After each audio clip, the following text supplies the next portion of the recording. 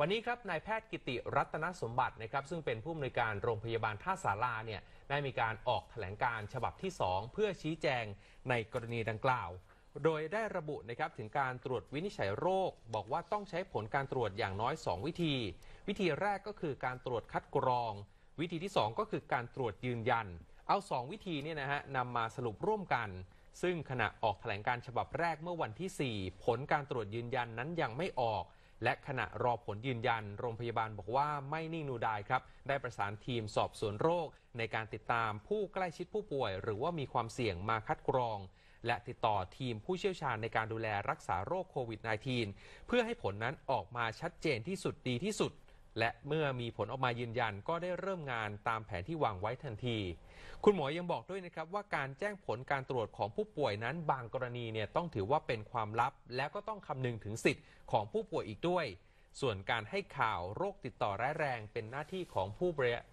ของผู้บริหารระดับสูงนะครับ อย่างเช่น ผู้ตรวจราชการกระทรวง อธิบดีปลัดกระทรวง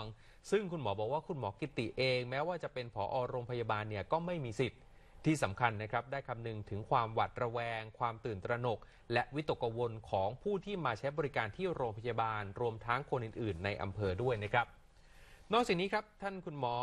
กิติเนี่ยนะฮะยังได้ย้ำถึงหลักการควบคุมป้องกันโรคที่ดีที่สุด บอกว่าทุกคนเนี่ยถือเสมือนว่าเชื้อโรคมีอยู่ในตัว ซึ่งโรคโควิด -19 การล้างมือบ่อยๆ ไม่จับสิ่งของที่ไม่จำเป็น สวมหน้ากากอนามัยในที่แออัด หรือว่าเมื่อเป็นหวัดเนี่ยการกินร้อนช้อนกลางล้างมือเขาบอกว่าเป็นวิธีสำคัญที่จะช่วยป้องกันโรคได้ และในฐานะของผู้อำนวยการโรงพยาบาล เป็นบุคลากรของกระทรวงสาธารณสุข ยืนยันครับว่าจะทำทุกวิถีทางเพื่อให้เกิดความสุขแก่สาธารณะนะครับ ก่อนทิ้งท้ายด้วยนะครับ บอกว่าแถลงการเมื่อวันที่ 4 มีนาคมเนี่ยอาจจะไม่ถูกใจใครหลาย ๆ คน แต่ผอโรงพยาบาลก็บอกว่าพร้อมน้อมรับคำติติงแต่ก็ขอความเห็นใจและมีส่วนร่วมในการแก้ปัญหาการติดเชื้อไวรัสโควิด -19 ซึ่งจะเป็นปัญหาในเร็ว ๆ นี้ของนครศรีธรรมราชอีกด้วยนะครับ